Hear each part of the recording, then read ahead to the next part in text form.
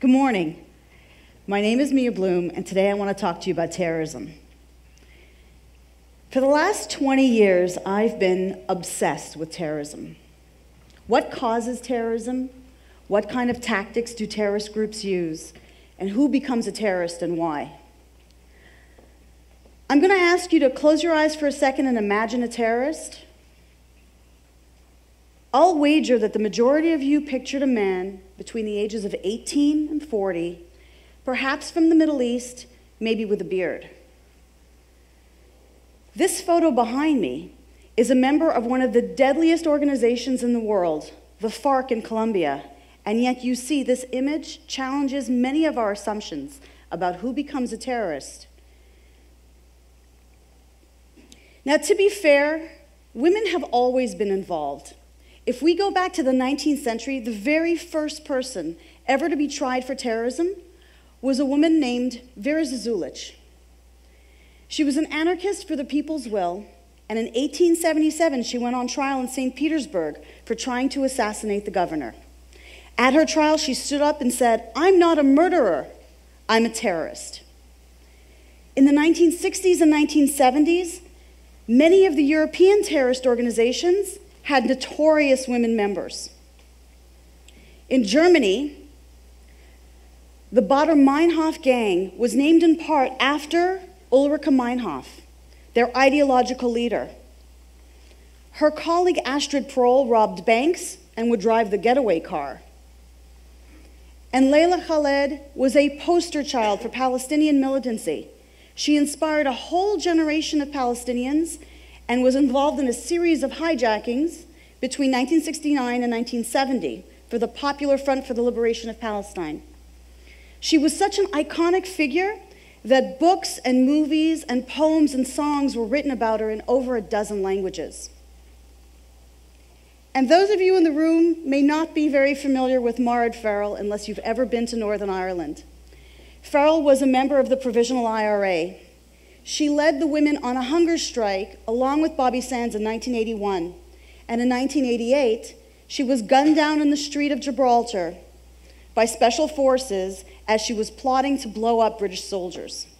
So while it's true that women have been involved, we have to ask ourselves what's changed? Well, the nature of women's involvement has changed over time. For the most part, women have gone from playing invisible and behind the scenes roles to very visible frontline and operational roles. This picture here was taken just moments before Rajiv Gandhi was killed. In it, we see his assassin in orange and green. She attended a rally when he was planning to get reelected, holding a garland, and she waited for him. When he bent down to accept the garland of flowers, she detonated 700 grams of explosive strapped around her waist. Now, this was important because it wasn't just a serious assassination of a major political figure by the Tamil Tigers, but also the assassin was a woman. And in Northern Ireland, this image of a Irish sniper shooting at British soldiers demonstrates that Irish women went from banging garbage can lids to warn the men that the British were coming, maintaining safe houses, and ferrying messages back and forth between their family members in jail and the organization to actually picking up the gun and shooting. Another place where we're seeing an increased role for women is on the internet. This woman from Pennsburg, Pennsylvania, just down the road, doesn't look like your average Al Qaeda operative. Yet, Colleen LaRose, known as Jihad Jane, and her friend, Jamie Ramirez, also known as Jihad Jamie, plotted to kill a Swedish cartoonist because he had depicted the Prophet Muhammad with the body of a dog. They pled guilty to terrorism charges just last week. But perhaps the most infamous of the female jihadis on the internet is Malika El Aroud. In Belgium, she ran a website called Minbar SOS, which sent dozens of men to their deaths on the jihad in Iraq and Afghanistan. On the website, she challenged men. She said, Unless you go on jihad, you're not a real man. She also encouraged women to join. So clearly, women's activities in terrorism have been diverse. But the role in which has had the most impact thus far has been the last seven years where we've seen the rise of women suicide bombers. Now, suicide bombing is an extremely effective tactic for terrorist organizations. Instead of planting a bomb and walking away, the suicide bomber is able to deliver the explosive directly to the target or to the person. And I'll give you an example why this is important. In 2004, an Al Qaeda linked group planned to blow up the trains in Madrid. They planned to blow them up just as they were approaching the, the, the platform of the station so that they would kill not only the people on the train, but also the people on the platform waiting. What ended up happening was that morning, the train was a few minutes late. So instead of blowing up as the train approached the station, the train blew up 800 meters before it arrived. Now, had Al Qaeda used a suicide bomber, they could have just waited a few minutes and they would have killed hundreds, if not thousands, more. Now, while women have not comprised more than perhaps 30% of the total number of suicide bombers, we are certainly seeing an increase of women bombers in places like Iraq and Somalia and Pakistan. You have to wonder what are some of the motivations that groups have to use women? Well, women are able to do things that male suicide bombers are not. Women are able to avoid detection. And so, during the course of a campaign, when it becomes very difficult for men to pass through checkpoints undetected, if you use a woman, you're more likely to succeed because we're not expecting to see women terrorists. They basically use our gender stereotypes against us. Women are also able to get better access. So, for instance, they can access certain targets men cannot, or they can penetrate the target more deeply. They can get to the back of the room. When that happens, a small amount of explosive feels like a massive amount of explosive. So, a small bit goes a long way. During the course of my research, I've spent time with terrorist leaders, and they've said to me that they felt that the women were more expendable. In their societies, a woman's life was worth less than a man's. But ultimately, the terrorist groups are aware of the PR benefit associated with using female bombers. During the course of my research, I discovered that if it was a female bomber instead of a male bomber, they were likely going to get eight times more press and more articles about the attack. And since terrorist organizations require the media and publicity, they were literally getting more bang for their buck. And finally, when terrorist organizations have a hard time recruiting men, using a woman shames men into participating. It goads men into action. The women make this explicit in their last will and testament martyrdom videos, and they say, I am going to fight because the men are weak. When I interviewed members of the Tamil Tigers, the LTTE in Sri Lanka, they confirmed my suspicions about why they used women. And they added one additional piece of information, which I thought was fascinating.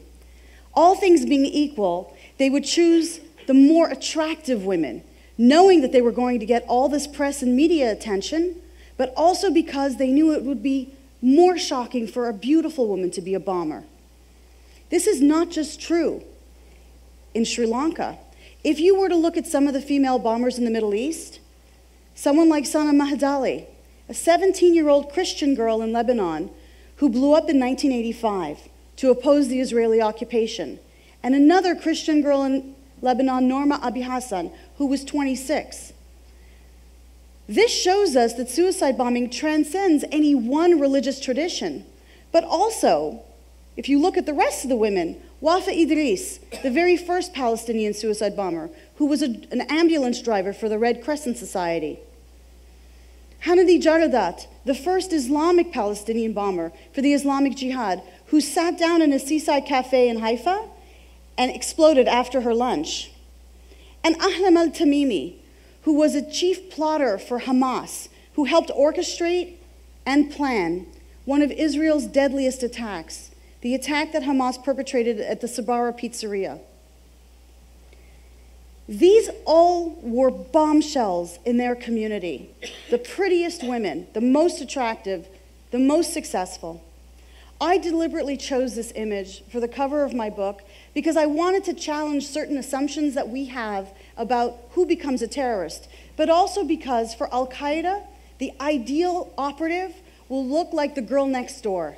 She'll be blonde, she'll be beautiful, and she'll be Western. The other thing that women are able to do that men cannot is disguise the bomb in a very unique way. What we've seen time and time again is that the women pretend to be pregnant. In this image, Anoja Kugenthirasa feigned pregnancy for several weeks by visiting the maternity clinic at a military installation.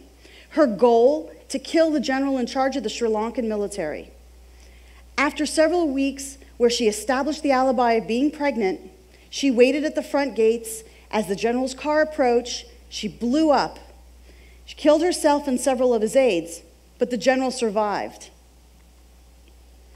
The improvised explosive device is worn around the midsection to give the appearance of late term pregnancy, especially when worn under traditional clothes. We need to ask ourselves why do women do this? I've summarized women's motivations as the five R's redemption. Many of the women that I've introduced you to had something in their past that they hoped to wipe the slate clean and reinvent themselves. So no one would remember that the woman had a child out of wedlock. No one will remember that this woman cheated on her husband. Nobody would remember anything about a woman except that she was a martyr. Revenge is most often cited as the reason why women become suicide bombers. And this is certainly true in places like Chechnya, where the women have lost husbands, brothers, sons, and fathers during two Chechen wars. The women think that becoming a suicide bomber and getting involved in terrorism, they will get the respect of their community. And in fact, the best predictor of a woman's involvement in terrorism is relationship to a male member of a terrorist organization. This is not just because terrorism becomes the family business in places like Ireland and Chechnya, but also it's an excellent vetting opportunity for the terrorist organizations to ensure that this person's not an informer. It also means that the women are less likely to change their mind at the last minute because they don't want to disappoint their family. And increasingly in the last few years, we've seen rape be one of the ways in which women are mobilized into terrorism. Now, historically, this was at checkpoints or during midnight search and seizure operations by military members of the other side. But in the last few years, we've even seen members of the terrorist organization rape the women themselves. This is because a woman who is raped is considered damaged goods in those societies. They will not be marriageable. And so, what the terrorist organizations do is they embrace the women and say, no, that's fine. You have, you're going to die anyways as a result of the honor code because you've brought shame on your family. Take a few of the enemy with you. The women are basically told that they can do more in their death than they can ever do with their lives. This is reinforced by cultures of martyrdom that are created in their communities that extol women terrorists by painting them on the sides of buildings, whether it's murals in Northern Ireland or graffiti in Palestine. In Sri Lanka, there will be small little museums set up to commemorate the female tigers. And the first Palestinian bomber, Wafa Idris, that I introduced you to before, has inspired a series of novels and there was been, there's been a training camp for little girls named after her to follow in her footsteps. As we've recently commemorated the 10th anniversary of 9 11, we need to think about what have we learned about terrorism and what do we think will happen in the future. I don't need to tell you who this man is. I think he's familiar to everyone. But I think that this is the face of terrorism in the past. In Iraq, the woman who organized the rape of 80 girls to turn them into suicide bombers for Ansar al Sunnah, an Al Qaeda in Iraq affiliate, is Samira Ahmed Jassim. This is the current face of terrorism. And what is perhaps extremely disturbing is the future face of terrorism is a younger face. Increasingly, terrorist organizations are, are coercing and forcing children to become suicide bombers. It is the ultimate form of child exploitation. We're seeing this in places like Iraq, Pakistan, and Afghanistan, where schools are being set up to do nothing more than teach the children to become suicide bombers at the young age of eight or nine or 10.